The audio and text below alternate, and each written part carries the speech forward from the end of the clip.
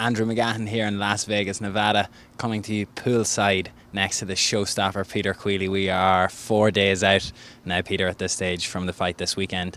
The main thing that I've been wanting to ask you is because your fights have always resembled absolute wars throughout the career, throughout your career. The theme has been this is a war zone. There are no easy fights. Was that something that you even relished when you heard maybe Conor talking about at the start that this has to be hard sparring, this has to be hard training? It seems like it's perfect fit for you. It, it's no different. He just said it this time. It's always this way. Um, we have great spars, me and Conor, um, and that's been my role in this in this camp. I feel is when Conor wanted to have a bit of a fight, I feel like I was the person that that, that sparred him, and I, I love that role. I love sparring with Conor. It's it's what's made me the fighter I am today, and um, long may it last. What was your main? Have you noticed the changes in the camps? Because I know you're saying that he's only saying it this time, but you can even see, even from speaking with John and Owen, the technical aspect or the more strategic aspect that goes into the training. Are you finding yourself now maybe going in and it's I have to work on this specifically against Conor as opposed to before when we were just throwing leather, you know, in the gym? Yeah, I'm definitely trying to, you know, imitate certain things and, and doing what John tells me. But also I'm just trying to give Conor work, you know, trying to make him work as hard as I can and and sometimes it's better for me to just use my own strengths to do that. So I'm kind of you know it's a balancing act between imitating some things and then just doing my best that I can that I can really you know give Conor the best workout I can. It seems though like you've been in fights with multiple guys that have similar styles and similar um, grinding sort of yeah. style. You're no stranger to it. Yeah. What did you learn from those fights?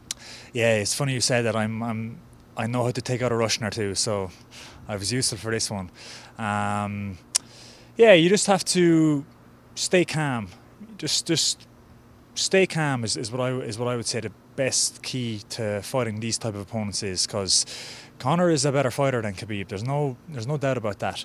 He just needs to stay calm and let let time is on his side in this fight. Even if he does find himself in a weird position, maybe in the first round, he just needs to stay calm, and he'll have plenty of chances to to hit Khabib. And Khabib is easy to hit, and when Conor hits you, it's it's like getting a, sh- a shock onto the face. It's just it's devastating. So he will hit him, and, and that will be it when he hits him.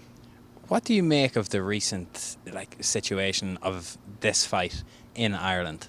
Because I completely get why what's being done is being done in terms of like just focusing on this fight. The training is the priority, but it seems like this one maybe compared to the other ones there was fans who were going nuts from 10 weeks out you were getting tagged and everything on facebook i still think there's going to be a large irish support here this weekend mm. but do you think it's more that the performance and the show and, and what's going to happen on saturday will mean it's nearly a bounce on effect for the next fight that we're going to see the numbers that we had maybe for mendes and aldo before no, I, I, think I think what you said first is right. I think it's been just been a bit lower key, but I think they will show up this time, like they always do. Irish people always show up when there's uh, when one of their countrymen is in a big event, and especially when Conor fights. And, and history is the best predictor of the future. And every single fight Conor has had, all our countrymen come in their droves to support him. So I don't see any difference for this one. I definitely think, uh, even if I was talking to look at it myself, I think that I'm coming at that from the perspective that every other Conor event, we were based off a lot of fan interaction, you know, with covering the early scene of Irish MMA. Whereas now, this is the first MMA fight back in Vegas since then, and I may not be as in touch with that side yeah, of social yeah, media. Yeah, I do think that there will be a lot of people here, but I just feel that the back and forths that made the Aldo and Mendes build up so iconic weren't here. But this is definitely an action is going to speak louder than words type of contest. Yeah, you're right. There has been less back and forth and, and less interaction between between Conor and, and Khabib, but everything that has happened in the in the build up, the last or like with the whole bus incident and the Artem incident, this fight is people know. Oh, the reason fighters have back and forth is to let the fans kind of know why they are fighting. But there's no explanation needed for this one. They know why they're fighting. It's very clear why they're fighting. So I don't think much promotion was actually needed for this one.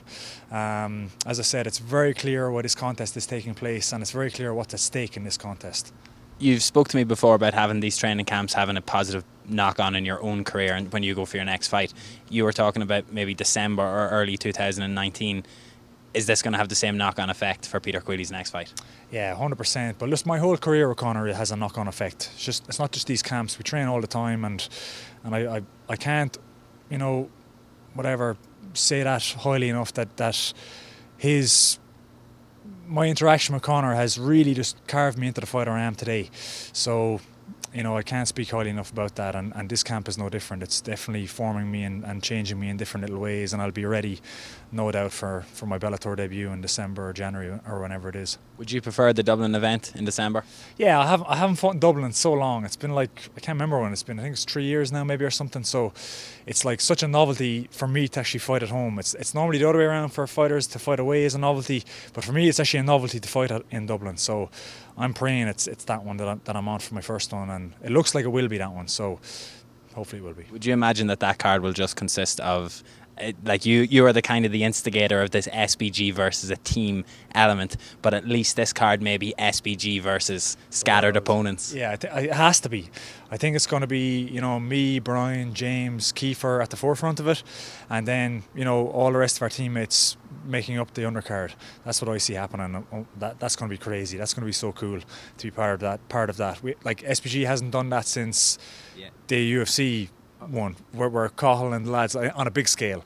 But like you know, that's going to be that's going to be one of the highlights of my career, just to be fighting with my teammates because that's not something I ever get to do.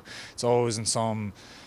You know, it's always in Moscow or South Africa mm-hmm. or wherever wherever I am, and it's lonely and it's a weird setup. My fights normally, it's it's a different kind of an atmosphere, but I'm relishing actually having a kind of a team atmosphere. Yes, yeah. yes, yes. Because yes. Well, what I thought you were about to say there was something like the National Basketball Arena. Because oh, yeah. well, that that is because what this is now. Because everything is just getting weirder when we look at this. Is like, oh, SBG are gonna do a like say a team versus team in Bellator, but it's like, but as you said, the UFC Dublin thing already happened before, and then even further back, it was like nine, ten fighters on these pro cards. So it's actually just the stage has gotten bigger, but you have been doing this for a while. Yeah, it's it's going to be nothing new, new to us. Um, having 10 fighters on a card or nothing new to John.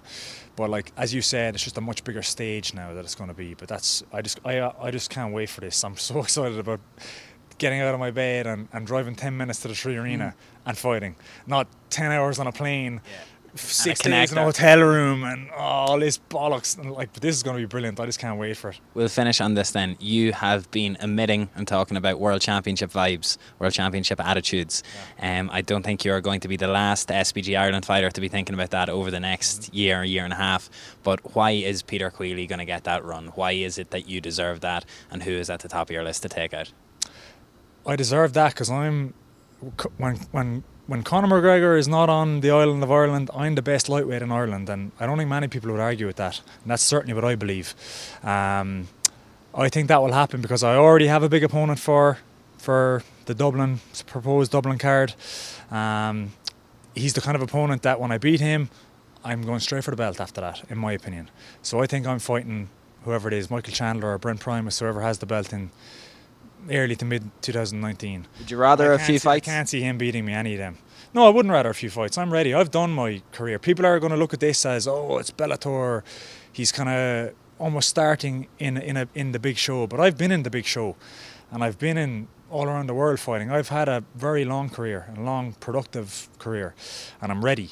So I just want who who do I need to fight for the belt? Him, and then fight for the belt, and that's kind of what I'm getting. So and I, I had I actually I had a kind of a this conversation with Bellator that this is the way I, I didn't want to be babied. Because Bellator sometimes do that. They kind of build people. And I was like no I don't want to be built. I'm ready.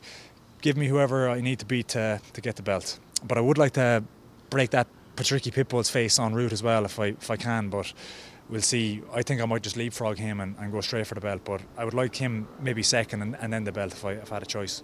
What started that if you don't mind me asking before we just go? them talking Brown, I don't know what they're talking about, just talking shit about SBG and whatever else. And you can't talk about us like that or my teammates like that without getting a reaction off us. And I would expect the same from from my own teammates. And, and we all we're, we're like a family. And you talk about one of us, you're you're fighting all of us. And that's how it happened. It just so happens I'm the top lightweight in the gym and, and he's a lightweight and that's how it happened. But you know, as I said, if, if he wants it, he can get it, and he, he will get it as well. So I'm, I'm, I'm yeah, I'm looking forward to getting him at some stage. Perfect. Peter Queally. oh my God, that's. Okay. Well, like, look. to be honest, I'm really disappointed with this because I'm I'm ready for the introduction to our squads when we get back to the Ireland of Ireland. Yeah. So, like, let's. And, we're no, we're just gonna. Andrew has been begging me to not join. begging, absolutely me, not. Me, Gunni Nelson, and Mako Amirkhani have the best three-man team you'll ever encounter on Fortnite, and Andrew's begging for an invite. He hasn't. I think won, I he deserve it. He hasn't won a I've won yet. plenty of He- games. He, needs a win. I've won plenty of games. That's uh, quite a nice massage as well. Peter Queally, thank you very much. Thanks, We'll see you soon.